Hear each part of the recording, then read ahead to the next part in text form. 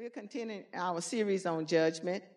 The last time we looked at if God were to judge us or what was his standard for us individually, it would be that light had come. We would prefer darkness rather than light. And so he judges us on the line that the light comes. And if you didn't obey it, judgment came. So we're going to look at tonight the standard that he uses to judge the heathen. Remember now, he to have a judgment day. If you have any questions, feel free to ask them. This is to inform us about what's going to take place because the rapture is going to take place and we won't be here. You never talk to a person and minister to them about if you don't receive Jesus, you're going to hell. Don't ever say that. You lift up the name of Jesus and the person gets the opportunity to accept him.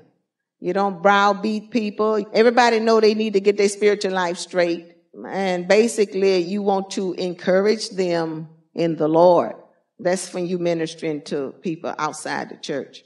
Okay. Come with me to the second Psalm. The first thing to ask in regard to the standard of God's judgment for the heathen is what about the people who have never heard of Jesus Christ, may never hear of him? How are they to be judged? You thought at one time Jimmy Swaggart went from one end of the earth to the other end. So God's standard is that for people that are heathens, first off, we need to define what a heathen is. When the second psalm was written, Jesus Christ had not gone to Calvary's cross. So the heathens would be the Gentiles and those Gentile nations. Okay? So look at Psalms 2, because God's standard is that the light they have, he gonna judge them by the light that they have, not the light they have never had or could not get. He can't judge them the same way he judged us or the church, because they don't know Jesus, never heard of him. Psalms 2. Why do the heathen rage? Remember now the heathen is the Gentiles, the nation. The Gentiles did not come into the covenant until after Jesus was resurrected. Why do the heathen rage and the people imagine a vain thing? The kings of the earth set themselves and the rulers take counsel together against the Lord and against his anointed, saying, let us break their bands as under and cut away their cords from us. What they're saying, we will not submit to him or his. So we go break their bands he that sitteth in the heaven shall laugh. The Lord shall have them in derision. Then shall he speak unto them in his wrath and vex them in his sore displeasure. Yet have I set my king upon my holy hill of Zion. I will declare the decree. The Lord has said unto me, Thou art my son. This day have I begotten thee. This is speaking of the birth and ministry of the Lord Jesus Christ. I have set my king upon my holy hill of Zion. I will declare the decree the Lord has said unto me, Thou art my son, and this day have I begotten thee. Speaking of his incarnation, his ministry. Then here's the promise. He says, Ask of me, and I shall give thee the heathen for thine inheritance. Now, when he said, For he gonna give them for their inheritance, he's speaking about them being what? Converted. The heathen is going to be converted. He ain't gonna stay a heathen forever. And the uttermost part of the earth for thy possession. He's talking about his kingship over the whole earth, not just over Jerusalem and Judah. Thou shalt break them with a rod of iron. Thou shalt dash them in pieces like a potter's vessel. Now, there are four raging classes. Verse one, you have the heathen, you have the people, these are the Jews. In verse two, you got the kings of the earth. These are Gentile rulers. In verse two, you also have the rulers. These are Jewish leaders. So see, it's almost like a political thing that's wrapped in it, involved in it too. The Jewish people was always plotting against God and the kings of the earth set themselves against the Lord and his anointed and the rulers the Jewish leader, they took counsel together against him. And the other thing that they did, when they said, let us break their bands, they were encouraging themselves to get rid of God and the Messiah. Now, over in Psalms 22, look at verse 27. All the ends of the world shall remember and turn unto the Lord. and all the kindreds of the nations shall worship before him. 22 and 28. For the kingdom is the Lord and he is governor among the nations. Come with me to Matthew's 25th chapter. The standard of God's judgment for the heathens or the Gentiles. This was before Jesus Christ. Psalms 2 was before Jesus Christ went to the cross. So we're going to look at some things in the New Testament because he said, until this gospel be preached into all the earth. Each month I take a country or I look on a map and pick out me a little city and I pray for that place. I'm praying for Chile. You know, ask the Holy Spirit to pray for other peoples in other part of the world. The United States have heard enough gospel to save China, if that's how they say it. So you want to get in the habit of praying for other believers in other countries. Okay, let's start in verse 31.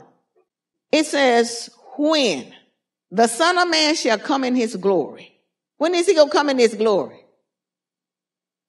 When the son of man shall come in his glory and all the holy angels with him, then shall he sit upon the throne of his glory. He is speaking about immediately after the tribulation. See, we won't be here. Immediately after the tribulation, the rapture already been took place. Now, he said, when the son of man shall come in his glory.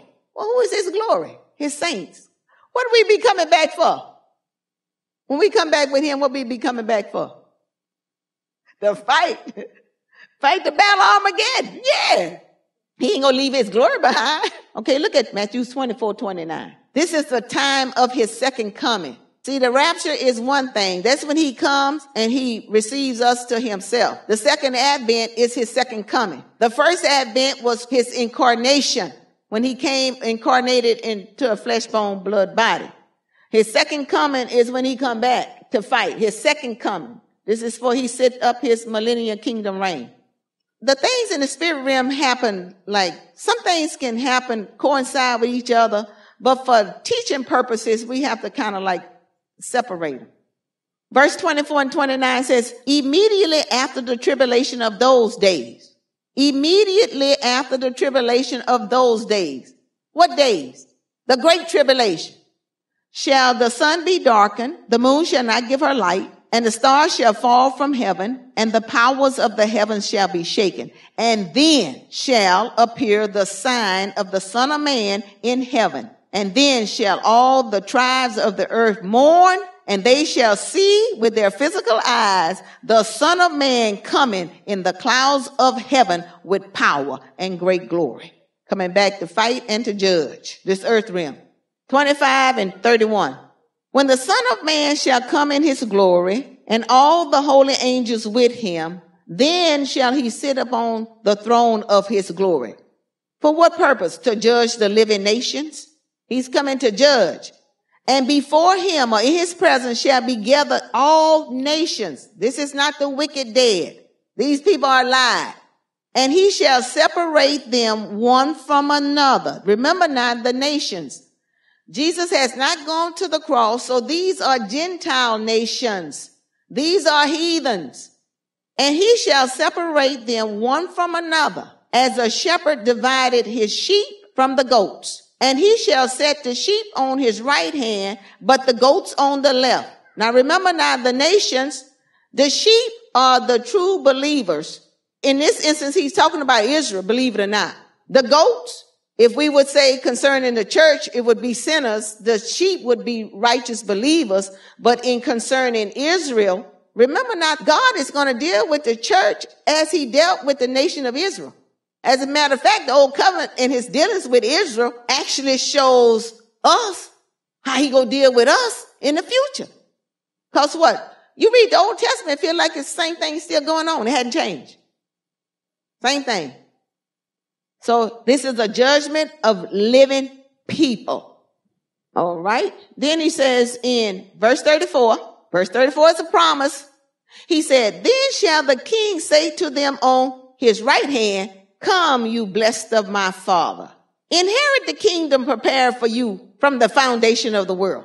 Remember now, he's talking to those who are the called according to his purpose in the New Testament Right here, he is speaking to the nation of Israel according to the election. Remember now, how did God start? He started with one person. Who? Abraham. Abraham went to Egypt all 69, 72, how many of them? And that was the who? The house of who? That was Abraham house, Abraham, Isaac, and Jacob. So theoretically, that was the seed. Ishmael comes in some time ago. They become the what? The children of the flesh. Take it over to the New Testament. Come, you blessed of my father, inherit the kingdom prepared for you from the foundation of the world. This is the judgment of who is going to be determined to go into the kingdom. You got to look at it like this. Jesus hadn't died yet. Gentiles hadn't come in. He's speaking of this judgment as a promise to determine who will inherit the kingdom. All right. Now we are going to go to Romans 8 and 17. We're going to go in the New Testament. Cause see, Jesus always declaring stuff from the beginning. So you'll know how it's going to be in the end. So come with me to Romans 8, 17. And if children, then heirs. If you're a child of God, you're heir of God. And you're heir with Christ. If so be that we suffer with him, you're going to identify with his death, burial, and resurrection, that we may be also glorified. See, this is heirship.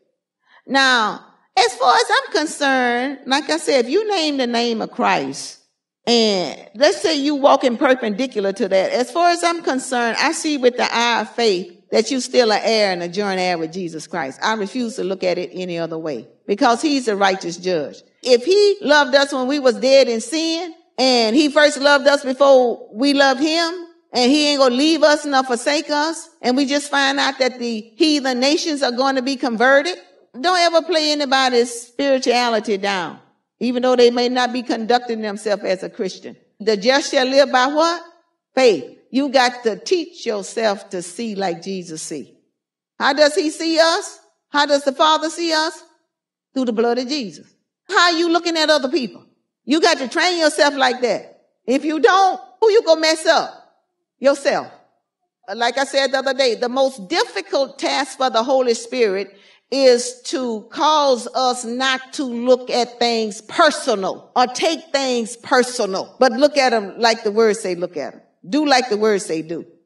Come with me to Galatians 5:19. But now the works of the flesh are manifested. I'm going to tell you they made visible. Which are these? He talking to Christian people now. Adultery, fornication, uncleanness, lasciviousness, no restraints, idolatry, witchcraft, hatreds, variance, emulation, wrath, strife, sedition, heresies, envyings, murders. You don't have to shoot nobody, kill him. Say he who hated his brother is a murderer. Drunkenness, revelings, and such like, of the which I tell you before, as I have also told you in times past, that they which do such things shall what? Shall not inherit the kingdom of God. If you die, you will go to heaven. But who wants to go like this to be judged before Jesus Christ? Why you want to go to the judgment seat of Christ and he done list these things and told you that if you do them, you won't have no inheritance. You won't be an heir. You won't be a joint heir with Christ. Why? Don't none of this identify with Christ. All right. First Corinthians 6 chapter. I think most Christians don't understand that judgment day will come. They don't live like the time has come. They live like they've been living. First Corinthians 6, 9. Know you not that the unrighteous shall not inherit the kingdom of God? Be not deceived. Neither fornicators, nor idolaters, nor adulterers, nor effeminates. What are effeminates? Homosexuality, lesbianism. And people want you to accept them when it's an abomination to God. Nor abusers of themselves with mankind. Neither thieves, uh-uh, God robbers, those that don't pay their tithes. Nor covetous. Now why does he say nor covetous? What is covetous as? Witchcraft and what else? idolatry, because it's involved the love of money. Nor drunkards, not only with strong drink, but drunk with the world and its system. Pride of life, lust of the eyes, nor revilers, nor extortioners, like preachers getting in the pulpit, extort money out of the church. Those are extortioners. Shall, they shall what? Shall inherit the kingdom of God. And search was some of you, but you are washed, but you are sanctified, but you are justified in the name of the Lord Jesus and by the Spirit of our God. You take your life and you use this as a checklist. Lord, you know I love you. And if I got anything like this in me and I'm unaware of it, you search my heart, you know. I want you to bring it up because I am an heir, an heir of God, a joint heir with Jesus Christ. This is your vocation. Being a Christian is a business. It is a vocation. It is the Father's business. Let's go back to Matthew's 25th, 34th verse. Then shall the king say unto them on his right hand, come you blessed of the Father, inherit the kingdom prepared for you from the foundation of the world. We all know what first Corinthians 2 and 9 says about the spirit of man. Those things that God has prepared for us, you ain't heard about them. For them that love him. Your eyes hadn't seen them and you ain't heard about them. That's First Corinthians 2 and 9. And the thing about it, these people that he's talking to are actually the called according to his purpose. Verse 35. For I was a hungered and you gave me meat. I was thirsty and you gave me drink. I was a stranger. You took me in naked and you clothed me. I was sick and you visited me. I was in prison and you came unto me. Then shall the righteous answer him saying, Lord, when saw we thee a hungered and fed thee, or thirsty and gave thee drink?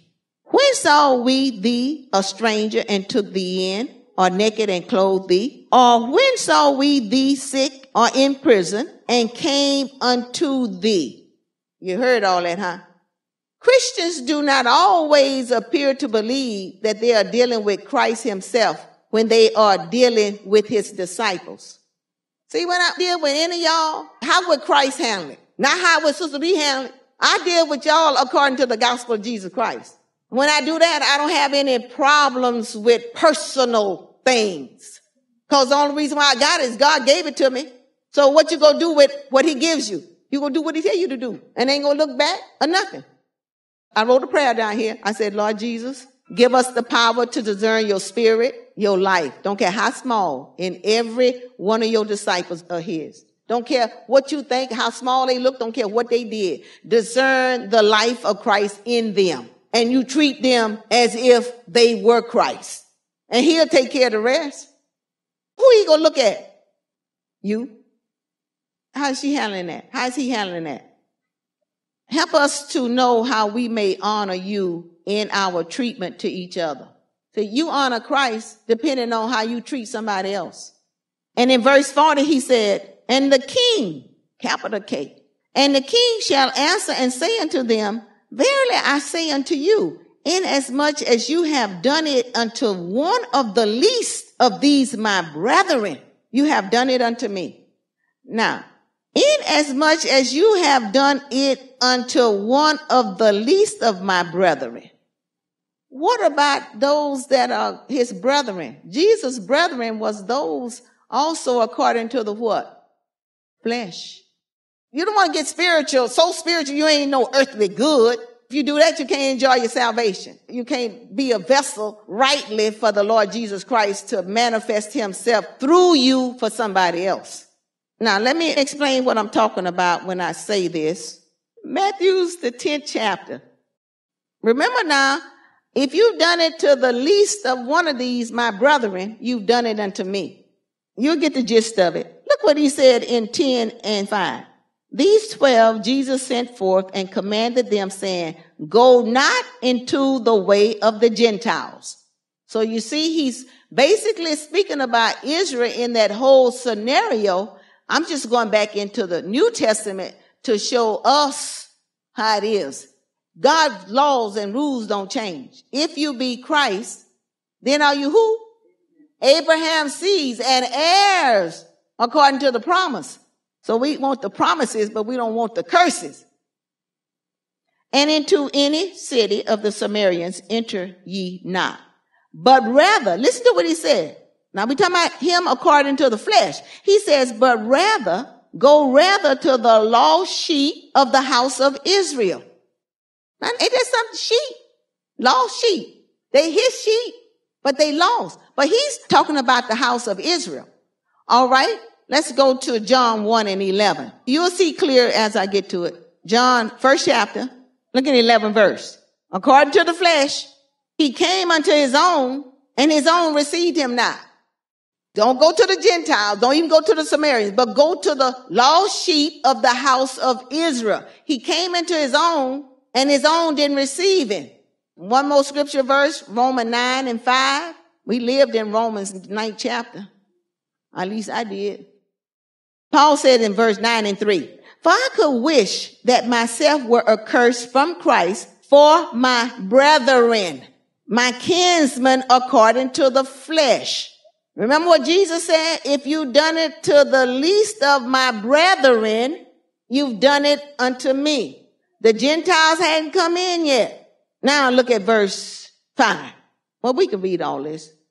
For I could wish that myself were cursed or cut off from Christ for my brethren, my kinsmen according to the flesh, who are Israelites, to whom pertained the adoption and the glory and the covenants and the giving of the law and the service of God and the promises, whose are the fathers and of whom as concerning the flesh Christ came who is over all. So when Jesus said back then over there in Luke 25, if you've done it to the least of my brethren, you've done it unto me. And you can use that in the instance of Israel. Okay? You did it to me, implying the very intimate union existing between Christ and all true believers, so that whatever is done to one of them, whether good or bad, he considers it as done to himself. Now, in the case of Israel, with Abraham, and that whole, what I just read, I will bless those that what? And do what? Curse those that curse you. That's how he go judge the nations according to what they did to Israel. If you done it to the least of them, my brethren, you done it to me. Well, how did you treat Israel? That's a spiritual law. God is going to fulfill the Abraham covenant because of the Jews. He fulfills that covenant. Remember what he told Abraham in Genesis 12? Now the Lord has said unto Abram, get thee out of thy country and from thy kindreds and from thy father's house unto a land that I will show you. And I will make of thee a great nation and I will bless thee and make thy name great and thou shalt be a blessing. And I will bless them that bless you and curse him that curseth you. And in you, in thee shall all all families, as all nations, as everybody of the earth be blessed. In him, in order for the people in the New Testament to partake of Abraham's blessing, they got to be in Christ. They just can't come back and get this. They have to be in Christ. And so when we send our tithes to Israel, we're being blessed. Okay. Let's go back to Matthew 25. Let's get to them people that's on the left. These are promises that he go keep. Then shall he say also unto them on the left hand. Now he's speaking to the wicked dead. This don't have nothing to do with Christians who ain't doing stuff right. You know why? Cause he said, depart from me. You cursed into eternal or everlasting fire prepared for the devil and his angels. This is the wicked dead. And you'll find out about the lake of fire over there in Revelation 20 chapter 10 to 15. So when it comes to the nations, they're going to be judged on how they handle Israel. That's right. And then in verse 42, he said, for I was a hungered and you gave me no meat. I was thirsty and you gave me no drink. I was a stranger. You took me not in naked and you clothed me not. See, when it gets down to it, in verse 45, he answers them saying, verily I say unto you, inasmuch as you did it not to the one of the least of these, whether it's his disciple or whether it's the nation of Israel. He says what? You did it not to me. And these, here's the promise, these shall go away into eternal punishment. That's eternal suffering in hell for the duration, eternity, throughout all eternity, but the righteous into life eternal. Let's go to Romans, the second chapter. Remember now, God's standard for the heathen, the light they have, not the light they have never had or could not get. You say, you think everybody heard about Jesus Christ. Everybody knew about the gospel. So then what would God judge these people by? We're going to find out over here in Romans. What would you think God would judge them people by? Somebody say something? Commandments? Well, that means that they would have their commandments in place. They don't know Jesus, never heard of him. How would he judge them? He can't judge them on if they never heard of him. What light he gonna judge them? See, the thing is this, never having had a chance to hear about it. So you know everybody in America don't know about Jesus because this is the land of opportunity. So they have places where they have not had the chance or have never heard uh, his name being called. Conscience is the standard by which men and women are to be judged until they have been brought into contact with the Lord Jesus Christ. That's the reason why when a preacher go preach to a heathen, he can't say, you don't have Jesus, therefore you lost and you're going to hell. Who is Jesus? You can't browbeat people. You have to present Jesus. The gospel is the good news. Why you go tell somebody lost and going to hell? Always remember when you minister in the gospel, the gospel is the good news, man. I can tell you how to get out of this problem. You might not like it. How? Jesus. And then you start from the time when he was incarnated. Very God. And when he came into the earth realm. All you gotta do is minister Jesus and let the Holy Ghost do his job. Look at 2 and 11. He says, for there is no respect of persons with God. You know what that means? God do not accept a person's face. He do not accept you at face value.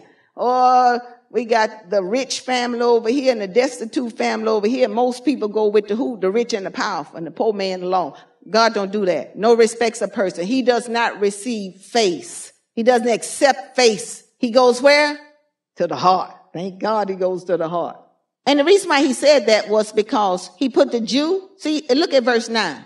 Tribulation and anguish upon every soul of man, upon every soul of man that doeth evil. Of the Jew first. Why the Jew first? Because he gonna be held in responsibility. Look at all that stuff that was given to him in Romans 9. Everything came to the Jew. The Jew had the privilege and the right. They had God first. The Gentiles just came in on it. So that's why it says the Jew first. They had a greater advantage above the Gentile. But God told them, no, if you do evil, don't care whether you're a Jew or Gentile, but glory, honor, and peace to every man that worketh good, to the Jew first and also to the Gentile.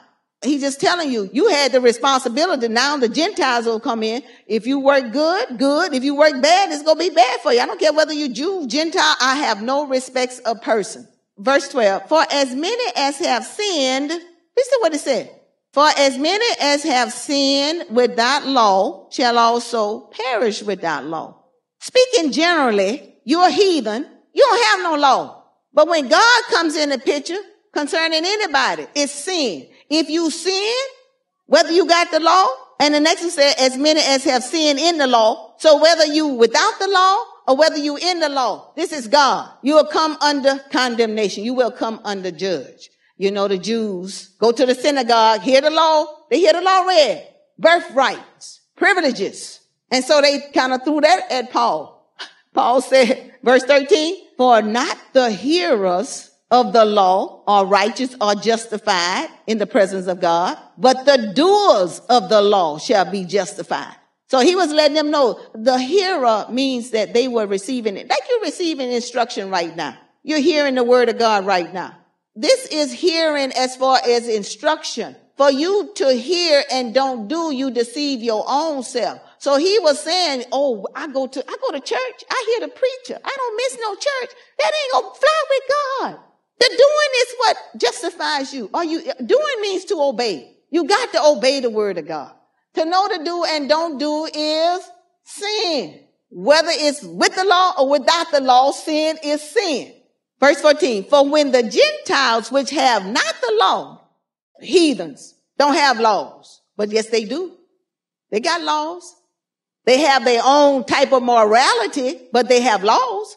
But listen to what this said. But when the Gentiles which have not the law do by nature, talking about their conscience, the things contained in the law, these having not the law are a law unto themselves. Remember now, the Gentiles ain't had no covenant. They ain't had no Mosaic law, but they had a law or they heard about certain things concerning the law or God put things in one's conscience, the light of life given to who? Men. When?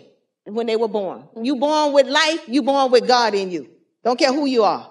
And the life was the light of men that the light lighted every man that came into the world. Don't care who you were. Verse 13 to verse 15 is parenthetical. It's in parentheses. So we'll take care of that. But when the Gentiles which have not the law do by nature the things contained in the law, these not having the law because the law wasn't given to the Gentiles, are a law unto themselves. What does this law show? It shows the work of the law written in their hearts. If it's written in their heart, you go see the law show up in the conduct. You always see the word of God show up in a person's conduct, in his manner of life, the way he speaks, the way he handles other people. This is what God look at. Which show the work of the law written in their hearts, their conscience also bearing witness and their thoughts or their reasoning does what? Bear witness to the existence of a law that's in them. See, the law is in them, in their conscience. It's not the Mosaic law. It's something that is of a moral nature as how to treat people. And this is the reason why. It says, the meanwhile, accusing or else excusing one another. Well, if you got a system set up where I can accuse you, you can defend yourself, that's a recognition of some kind of law. And see, this is what God will judge them on. Their standards in their society and how they conduct themselves.